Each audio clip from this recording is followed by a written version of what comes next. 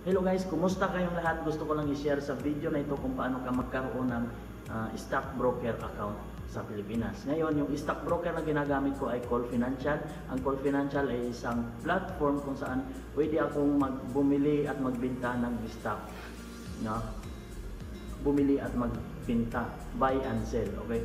So, ngayon isi-share ko sa inyo, panoorin niyo itong video na ito at ah, at kung nakatulong ito sa inyo, ay click nyo lang yung thumbs up button at click mo na rin yung subscribe andyan lang sa yan sa gilid makikita mo. So, okay, na-subscribe mo na ba? So, click mo na lang yung subscribe. Ah, tara, simulan na natin. Welcome back po dito sa aking channel. So, kung ikaw ay gusto mong mag-invest sa stock market, gusto mong mag-trade, gusto mong mag-buy and sell, okay, so, punta lang kayo sa ano, yung i-recommend ko pala sa inyo ay yung ang isang stockbroker dito doon sa Pilipinas ay ang Call Financial.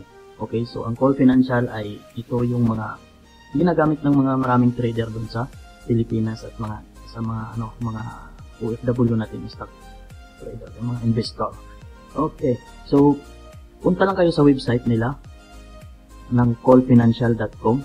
Okay, yan po. Tapos i-search nyo lang yung pag nabuksan nyo na ganito po yung makikita nyo.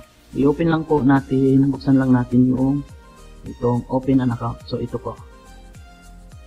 Pagkatapos ay hanapin natin yung online registration. So meron ditong online express, online express, Bisaya na. Submit all requirements online, express account and activation after funding. Okay, mag-activate lang yung account nyo pag uh, namlagyan nyo na ng pera. Okay. Okay, so click natin yung sign up.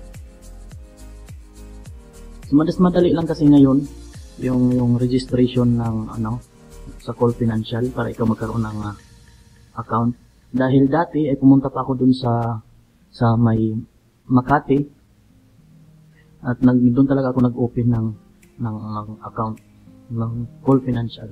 So ngayon, online lang ay pwede nang ma-activate. Pwede, magkaroon ka na ng uh, stockbroker account. Magkaroon ka na ng Call Financial ah, account. Okay, so ito pala So basahin lang natin to. One valid government issued ID, blank sheet of paper of uh, for signature capture, Philippine bank account details for employed or self-employed, is JIS, CRIN, and PIN. So CRIN na is is na yan.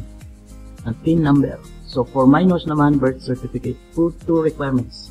So kailangan mo ng three signature sample with your ID selfie with your ID. So get started.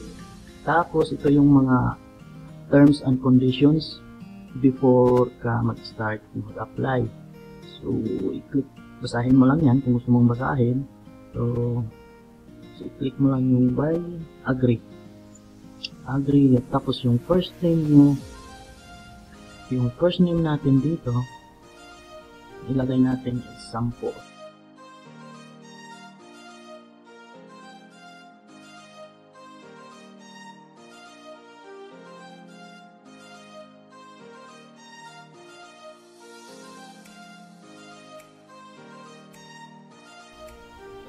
So, antayin natin na matap. Mag, ano siya. So, verify your email address. Okay, i-check natin dito sa ating um, ating email kung uh, para ma-verify natin. Okay, so punta natin dito sign up ito. Call Financial, verify email. So, click natin yung verify email. Okay, tapos mapupunta tayo dito sa Call Financial uh, website. So, magtitik sila sa ating uh, magtitik sila sa ating mobile number na binigay. So, na-receive ko na. So, ito 71291. So, click verify. Tapos, next. Click natin yung next. So, ito, i-select natin yung, so kung gusto nyo, para sa inyo lang, sa sarili nyo lang, click nyo lang itong individual. Pag joint naman, uh, an account, ito yung, uh, halimbawa, dalawa kayo sa kaibigan mo or kapatid mo o di kaya asawa mo. Tapos yung ITF naman, nito yung interest for, so, halimbawa yung anak mo, yung anak mo na below age, 18 years old pa lang, so kailangan mo, kailangan mo ng, ano, ito yung i-click mo pala, ito yung isi-select mo. So, para sa video na ito ay individual lang yung uh, i-click ko. Okay, click next. So, basic, civil, single, may, year. So, fill upan lang natin to lahat. At, um, ayan. So, sana, sana maging okay to dahil meron akong tatlong account sa, meron akong tatlong account din ng Call Financial. So, country of information, Philippines, sana yun? Country of citizenship, Philippines.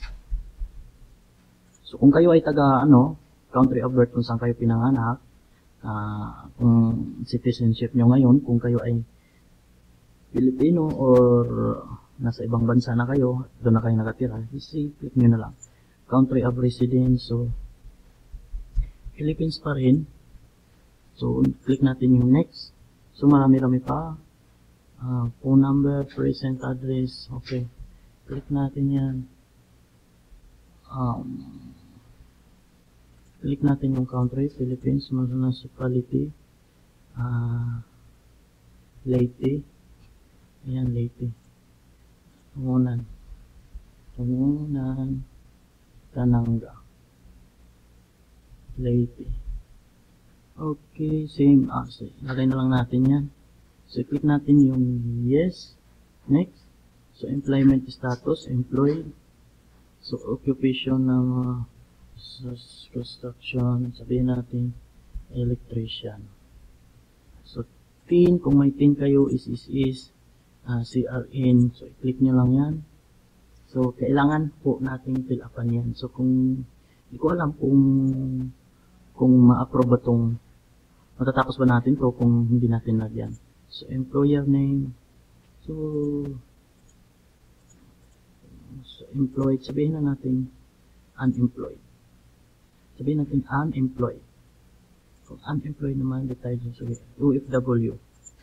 Efficient unit. So, kailangan natin, so, sabihin natin unemployed. Unemployed. So, next. Para wala nang tanong-tanong. Are you corporate? So, no, no lang to. Para mabilis. Okay. Sabihin na lang natin na social media. Hmm, call offices, no. Are you US person, no. So, click natin yung yes. Uh, financial. So, asset mo is ito, less than 500,000, less than annual income, source of fund, investment, family, inheritance, source of fund, regular remittance allowance. So, yun na yan. So, next. Your investment objectives is uh, sabihin natin high gains, high risk. Low gains, so kayo minimal gains, no risk. Moderate, sabihin natin moderate. So, is your is what is your investment experience? Yung kaalaman mo, so limited, limited lang. How long can you keep funds? How long can you keep your funds invested? So, more than 5 years how much of your savings are willing to invest.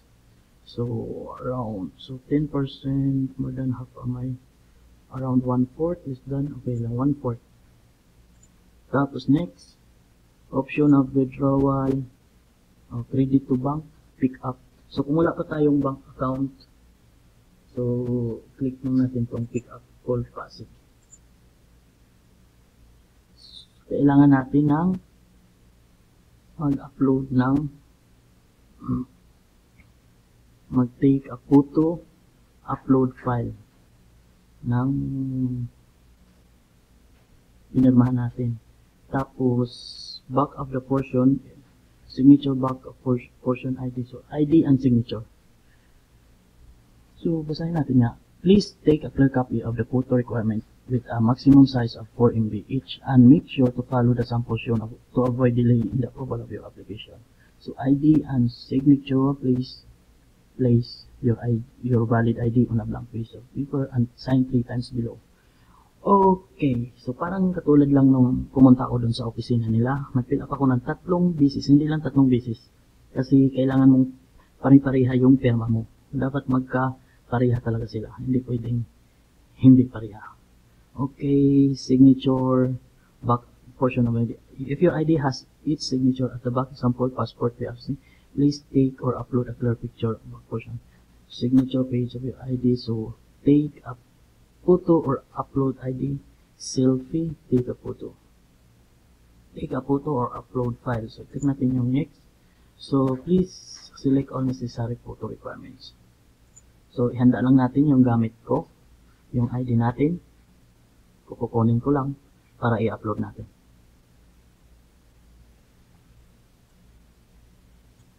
So, i-up, mag-upload tayo ng ID natin. So, upload SD card, PC ID, camera.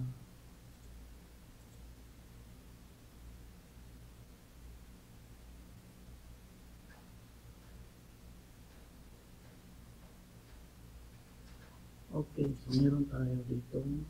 2.2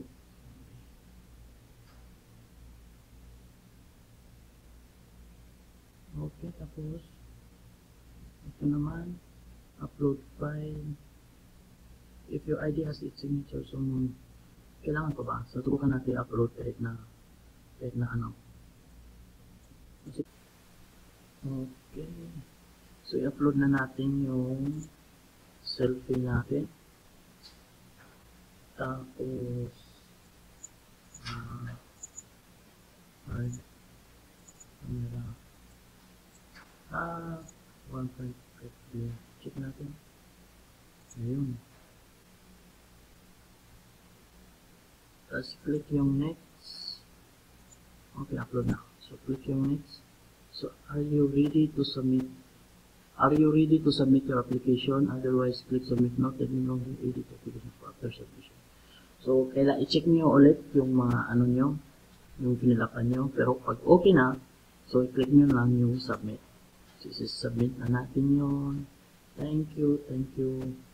Congratulations. You accomplished your call financial opening account.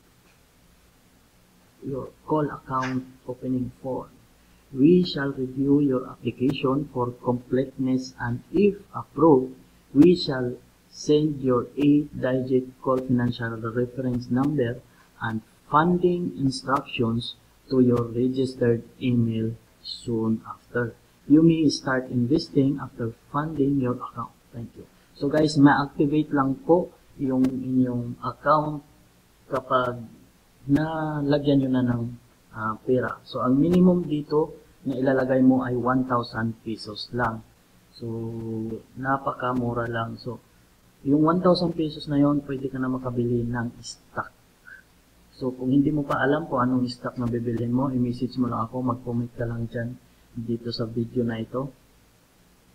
At, uh, o di kaya mag-message ka sa messenger ko at so, sabihin ko sa iyo kung ano yung uh, uh, ano, ano yung ang tawag ng ano yung rekomendasyon ng aking mentor para yung rekomendasyon na ang rekomendasyon ng aking mentor na ano kasya kasya yung 1,000 pesos. So kung may may mas malaki ka pang puhunan diyan, mas may mas malaki ka pang i-fund doon sa for financial account mo. So mas, mas maganda. Okay? So